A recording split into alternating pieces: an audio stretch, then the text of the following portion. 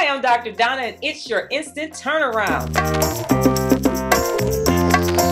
Here's what I want you to do right now. I want you to close your eyes.